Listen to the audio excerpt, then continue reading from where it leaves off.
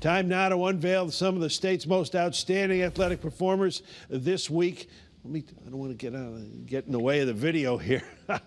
we got a young Masuk center fielder we're going to talk about, a couple of home runs she had the other day in a blanking of second-ranked Southington. We've also got an outstanding lacrosse player that might just be able to take his squad to the state championship. Let's meet our nominees, shall we? Brendan Foley of St. Paul Catholic Baseball getting a good start. Natalie Lieto, that Masuk sophomore that I was talking about with the two home runs.